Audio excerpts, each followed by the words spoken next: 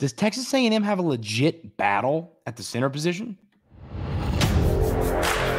You are Locked On Aggies, your daily podcast on the Texas A&M Aggies, part of the Locked On Podcast Network. Your team every day.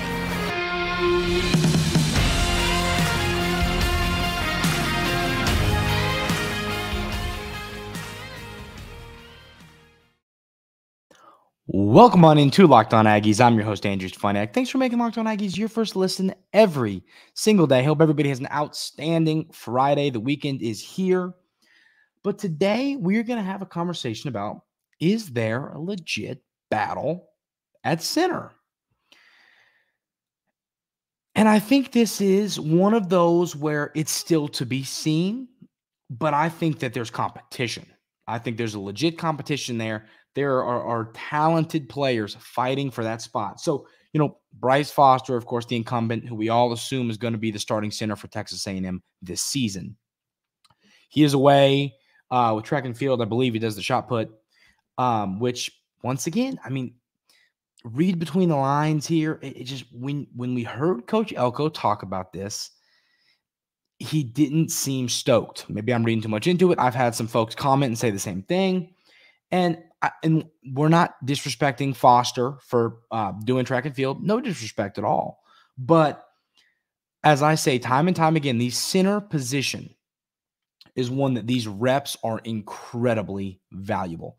You are the quarterback of the offensive line. You are pointing things out. You are letting folks know what they are supposed to be doing. And I know that he's been around. I know that he's he's played a lot of football for Texas A&M, but still, I just I mean, this is a new system. This is a new coaching staff. I, him not being here in spring is it the end of the world? No, but it definitely is a little bit frustrating. So, I think looking at this, my head kind of goes, "Hey, we really need to have some folks step up in." Spring ball. And who have those two guys been? It's been the transfer, Dorian Hinton, and then TJ Shanahan.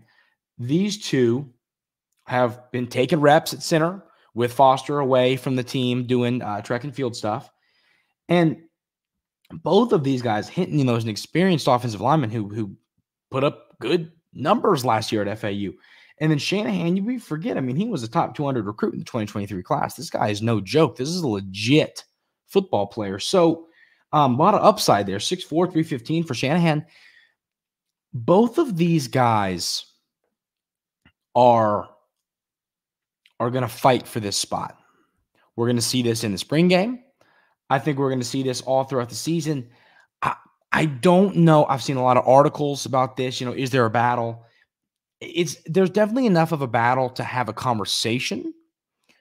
But I just think if Bryce Foster was here, this really wouldn't be a conversation. He would be taking the reps with the ones, and we wouldn't be looking at it like, well, we're looking at it like this because he's not at practice.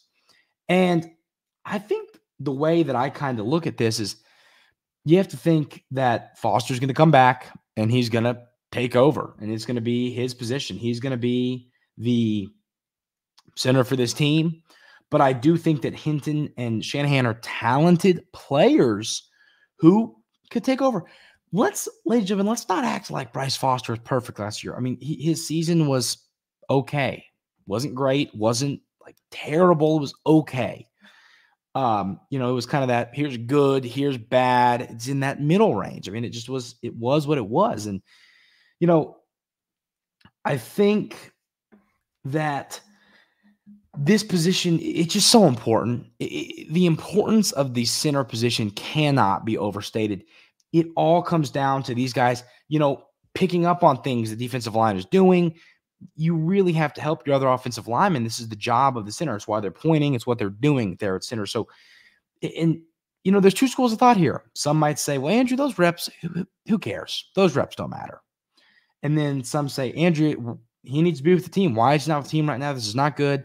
Not knocking two sport athletes. You know, I played two sports uh, through most of high school, growing up. It's it's part of it.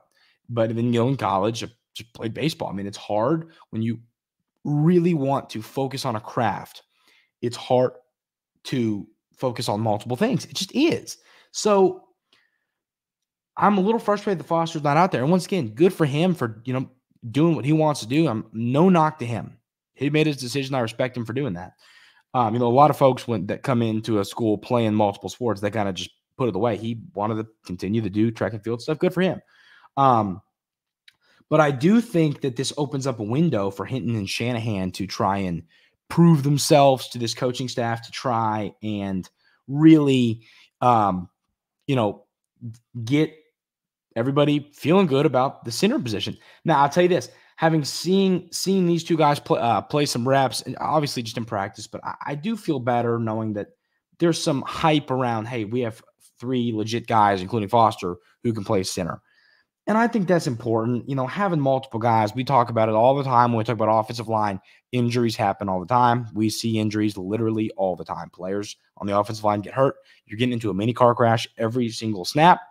So you're going to have some guys get banged up. And I think having legitimate backups at each offensive line position is always going to be important.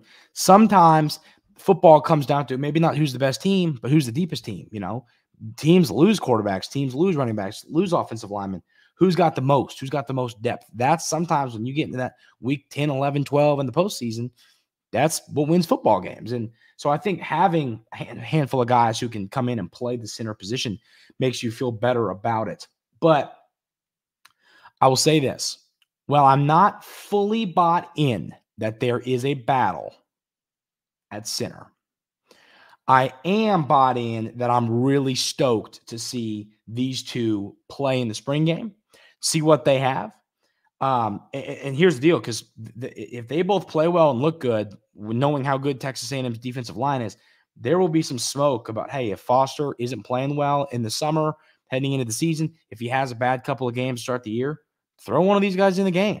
And I think that that smoke could become fire at some point if if Bryce Foster doesn't play good football. So that is definitely something I'm monitoring.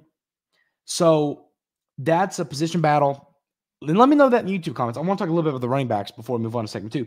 But let me know that in the YouTube comments. Do you believe in this? I've seen in multiple articles, multiple Texas A&M publications over these last few days saying, well, maybe there's a bit of a battle for the center position. And once again, I I'm not saying that's not true in the story, but I am saying I think that if Foster was here, it wouldn't really be a conversation we were having.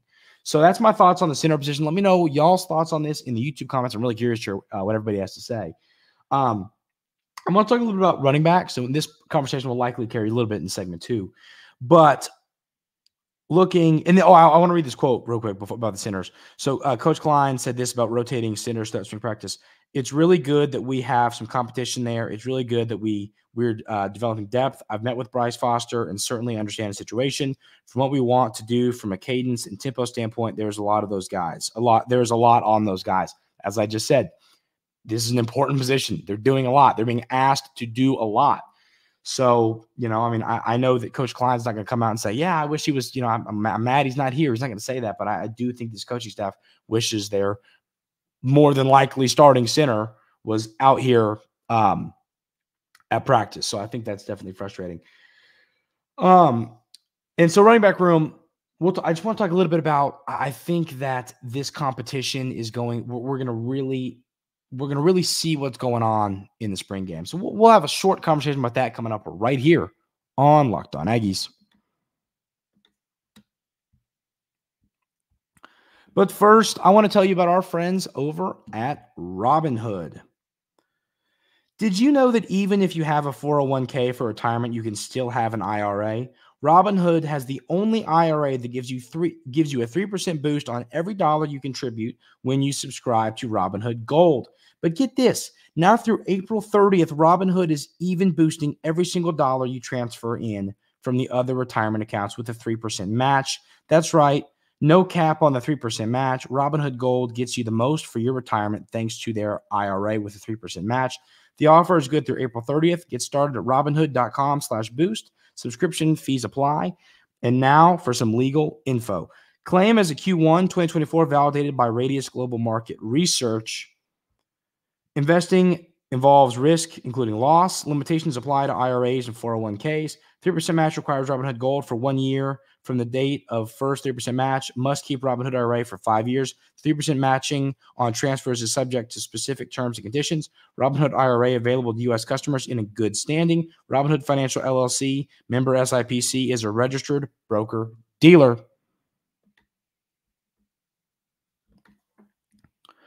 So, short conversation about this running back room before we we get on to a few quotes we heard from players and coaches. Uh, we, we, talked about some quotes from Coach Klein yesterday that were a little bit interesting, and that one about him discussing the sinners was interesting as well. Um, but this running back room, I just wanted to say this. I think that we're going to see a lot of questions get answered about this room at the spring game. I just think it's going to be an eyeball testing. I have a feeling that some of these guys are going to separate themselves from the pack. So I expect that to happen at the spring game. Uh, and once again, it's going to be an open competition. And Coach Klein said, a quote we read yesterday, this is a room that multiple guys are going to get their reps. Multiple guys are gonna are gonna get to um are gonna and we're talking in games. Like this is going to be a committee. This is not going to be one guy takes over. Now, while I believe that to be true, I still think you you are going to see one guy kind of be the guy. You know, maybe it's 16 carries for that guy and nine and seven for your other, you know what I mean? Like whatever ends up breaking up to. I do think you're going to see a lot of mouths get fed when it comes to this running back room, but I do still believe that one player is going to take over. I still think that Rueben Owens and Le'Veon Moss are going to be the guys. That's just my opinion right now. I'm anxious to see what changes and how that looks here in a few weeks. And that's what's going to be really fun about the spring game coming up here in a few weeks. Um, I just wanted to share that. I was thinking about that earlier. Um, and so now we got some quotes from DJ Hicks, Conner Weigman, and Coach Bateman. So DJ Hicks had a lot of great things to say. First thing he said, uh, this is talking about Texas A&M's new additions via the portal. He says we have a lot of good players that came in. Rodas Johnson, the defensive tackle from Wisconsin, is a great guy. They're all great men and great people, and they love the game of football. You know, this isn't a super football quote. This is kind of a you know brotherhood and, and you know love my teammates quote.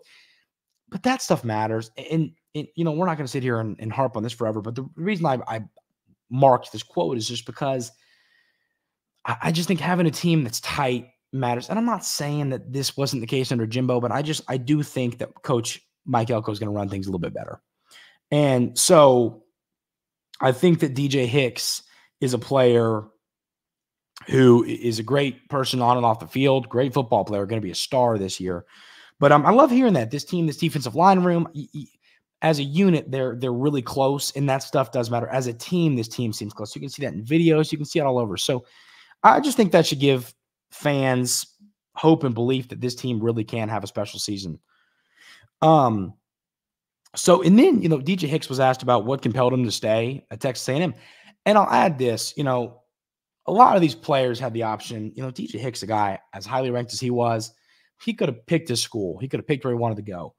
And when Coach Elko was hired, you know, everybody had that choice. Do I stay? Do I leave? Where do I want to go? What do I want to do?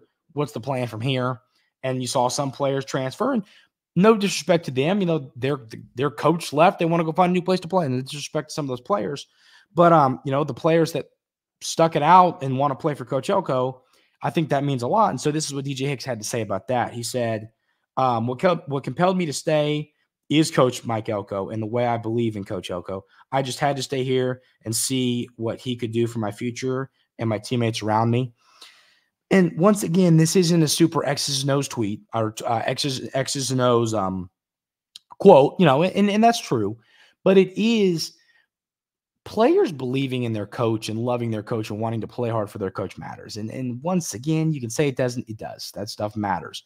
And uh, Hicks likes his likes his coach. He feels really good about his coach, and he says that's why he stuck around. So you know, Coach Elko, we talk about building relationships, how important that is in recruiting and uh, keeping your players on roster. This is why that stuff matters. And I everything I've ever heard about Coach Elko from players, from recruits, he's a great guy and people want to play for him. And that stuff is really, really important. So, um, DJ Hicks then goes on to say, I met Coach Elko right before he left for Duke. I came here. I was going into my sophomore year. I remember he was telling me the defense and breaking it down. I remember how smart he was, and I had never talked to someone who was that smart. You know, Coach Elko knows defense. Coach Elko preaches defense, teaches defense. Texas A&M's defense with him and Coach Bateman together, putting their minds together, it, it's going to be really special. And I think you've got the personnel to make it special, and you've got the coaching staff to make it special, and that should excite Texas A&M fans. Then this is uh, DJ Hicks talking about defensive coordinator Jay Bateman. Really talented. The first day I got here was the first day before the bowl game. And I remember watching him in the bowl game. Oh, excuse me. This is my bad. This is Jay Bateman talking about DJ Hicks. Excuse me. He says, you know, really talented. The first day I got here was the first day before the bowl game, and I remembered watching him in the bowl game. He is a tremendous kid and he works really hard. I think he has tremendous upside. I'm glad he's here. You know, watching DJ Hicks play, there's no debate that the upside is through the roof. He's going to be a star. I think some people were, were quick to, you know, I mean, not, I'm not saying forget DJ Hicks, but he was a bit buried last year. Why? Because Texas A&M's defensive line was one of the best in college football. I asked Nick Saban, you know, and he praised this defensive line for minutes and minutes. I asked him that um, during an SEC uh, phone call a few uh, whenever before the matchup last year. And this was a really good defensive line.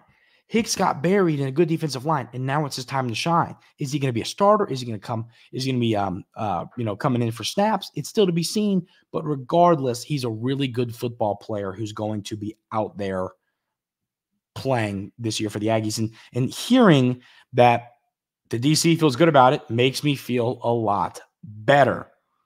Um, now here's Coach Bateman on Taurean York, which is, I'm sure, always a great subject for these coaches. I'm sure they love to brag on York. I feel very fortunate to have Taurean here. I feel fortunate and blessed to coach him. He's always working. He has a lot of ability to. Really fortunate that he's here, and he'll be a big piece of our defense because he'll help us run things. York is just, it's amazing how much of a leader he's become young into his Texas A&M career. He's a sophomore and he's a leader on this team. You don't see that a lot. A lot of times it's the juniors and the seniors in the in the uh, sixth years that or fifth years that is who are the leaders on a football team. And seeing that York is really a leader on this defense is amazing to see. And there's no no question that's why Bateman is raving on him because he's a great teammate. He's a great football player. He's going to make this team better on the field thanks to his play, thanks to his leadership. Terry York is going to be a big reason why the Aggies, I think, are going to have an incredible 2024 season. So now on to of some quotes from uh, quarterback Conner Weigman, who we obviously here locked on Aggies, as you ever dares no believe will be the starting quarterback for the Aggies this year. This is him discussing his injury. So he says, um, and the, uh, the toughest part of it, he says, being away from the game. I love the game of football, and having something you love taken away from you is tough mentally. You don't realize how much you love something until it's taken away from you. So I'm thankful to be back with my teammates.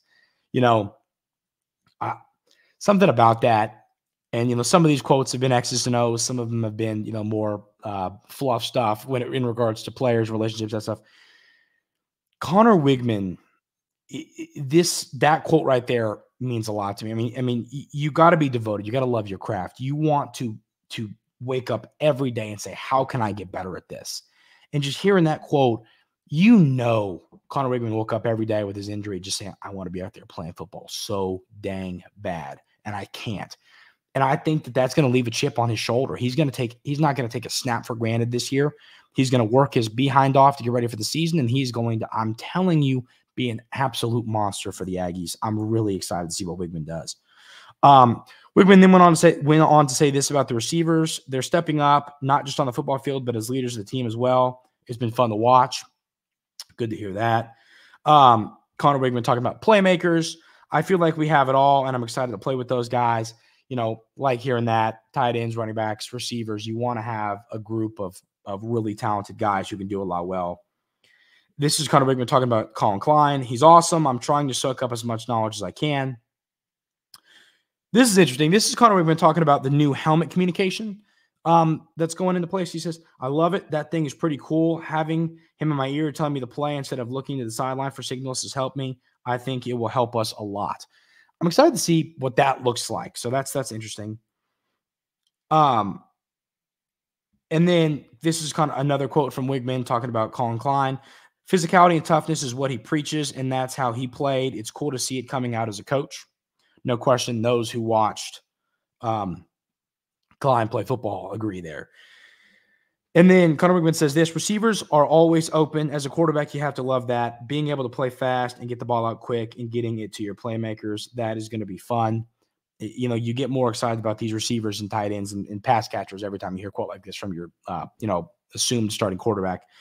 And then lastly, Conner Weigman says, Coach Elko left right when I got here, so he was here throughout my whole recruiting process. He was close to my parents. I was excited when he was named head coach, and he has hit the ground running more praise for Texas A&M's head football coach, who is going to have a really, really good year, and I can't wait to see it. The Aggies have a big, big series coming up on the diamond against the South Carolina Gamecocks on the road. We're going to break it down coming up right here on Locked On Aggies. But first, I want to tell you about our friends over at Game Time. Game Time, if you go get a ticket to a sporting event, to comedy, to a concert, anywhere else, you're crazy. Game time is the best place to do it. It's where I get tickets to every event I ever attend. I'm going to a concert on Saturday night and or tomorrow night. And where did I get my ticket? Game time. Incredible price, easy, and my favorite feature about game time, you can see your seat. Some you know of the competitors have a, a, a, a different version of this tool and it just doesn't work the way game times does. Game times ability to show you where your seat going to be is in the stadium in the uh, music venue is unmatched. It's incredible. It's accurate. Uh, i bought tickets to a baseball game i saw exactly what my seat looked like and i get to the game and it's exactly what the uh, image on game time showed. It lets you move around see the stadium it's an incredible feature on an incredible app where you can also get your tickets cheaper than anywhere else. You got to go check out Game Time. I promise you. Take the guesswork out of buying tickets with Game Time. Download the Game Time app, create an account, and use code Locked On College for $20 off your first purchase. Terms apply. Again, create an account and redeem code L O C K E D O N C O L L E G E for $20 off. Download Game Time app today. Last minute tickets, lowest prices guaranteed.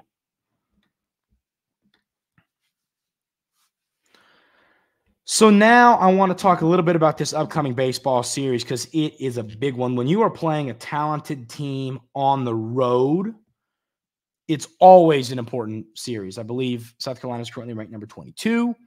It's the SEC. There's no such thing as a bad team. There are not bad teams in this conference. This is the best conference in all of college baseball, not even relatively close.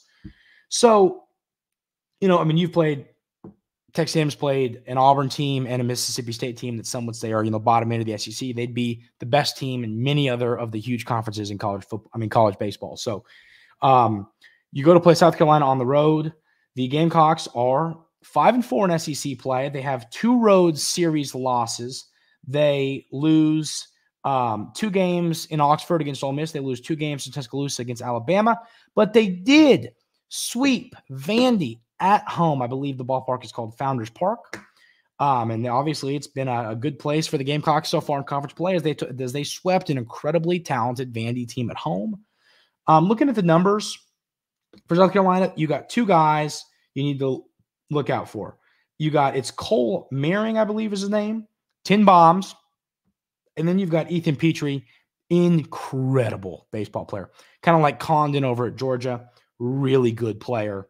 Uh, batting 327, 12 home runs on the season. So those are the bats that you got to, you know, if you're the pitching staff, hey, watch out for these guys. And then the pitching staff, the pitching staff, they're giving up about 5.8 runs per game so far in conference play. And, you know, looking at this, the ERA for the staff is pretty solid, you know, and it seems like when when their staff, and this is like kind of like, well, no, you know, no crap, but when when the staff doesn't give up a ton of runs, they're winning baseball games. They're winning close games, and then you'll see them lose one 12 5. And so, you know, um, the pitching staff was really good in their home series against Vandy. So you got to expect these pitchers to come out and look really good. It's a, it's a pretty good staff, low ERAs. So be ready for that. A lot of a lot of guys, a lot of different types of pitchers, finesse pitchers, strikeout pitchers. You got to be ready for whatever's coming to you. Of course, this will all be scouted, the scouting report, and all that. Um, so I mean, my keys to a series win are Montgomery. Hey, this isn't rocket science. Continue to do what you're doing, man. You are incredible. Keep doing it. Uh, he currently leads Division One baseball. I saw this in um, RBIs, I believe 51. Um, good for him. I mean, he's he, I, there's no words to describe how good he's been. And then you know, Jace LaViolette continued to hit the baseball and hit it very, very far. That will help you win baseball games. I think early runs. Once again, this isn't you know uh, this isn't a rocket science take here, but when you're playing on the road, I think early runs are, are even more valuable because it just it, it deflates the crowd, it deflates the team. Go and punch them in the mouth in the first three innings, make it a four-two, five-one, get you know what I mean game. Go get a couple run lead, a two, three, four run lead. It it, it really deflates a team, and then of course every home team is going to make their push, but I think that's takeaway. Crooked numbers, a lot of crooked numbers. That helps always, especially on the road. And then answer. If you get punched in the mouth and the in it's a zero zero game, and then the bottom of the second, South Carolina scores three runs, score three in the top of the third, score two in the top of the third. Don't let momentum, you know, don't let them put up two runs, their pitcher come out and get three quick outs, and then they're back in the dugout hitting, feeling really good about themselves. Don't do that. If they punch you, answer. This team's been really good at that so far this season, but it's a trend that needs to continue in this series. This is a huge series. I feel like this is going to be a, a real, we're going to get a real feel for this team from this series. If you go win this thing on the road against a talented South Carolina team, I mean, just my confidence for this team being able to win the whole thing just is going to continue to grow. Fun series coming up. Really excited to see. So, important baseball this weekend, ladies and gentlemen. So be ready to rock and roll for that. That's going to do it for this weekend, for this week here at Locked On Aggies. If you haven't already, hit that subscribe button. It helps the show a ton. Hit the like button on YouTube, helps a lot as well. And then if you're listening on a podcast platform, leave a five star review, also helps the show. Really appreciate y'all, everydayers, everybody that's here listening. I really appreciate it. Hope everybody has an outstanding weekend, and we will see you on Monday.